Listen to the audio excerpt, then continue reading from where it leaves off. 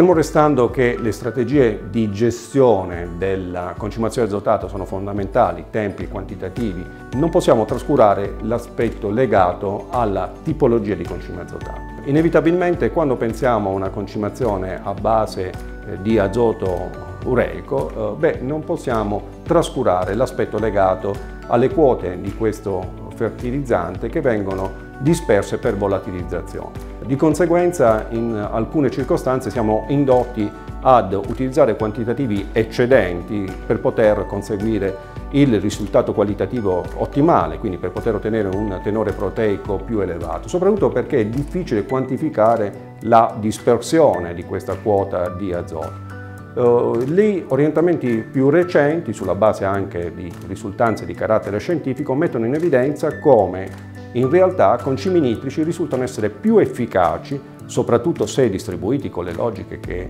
abbiamo visto, cioè di ritardare un momentino nei momenti in cui la coltura richiede una disponibilità di azoto eh, per eh, la sintesi proteica, quindi dalla fase appunto della botticella in poi, beh, i concimi nitrici eh, mostrano una maggiore capacità di garantire un maggiore accumulo di proteine all'interno della nostra granella.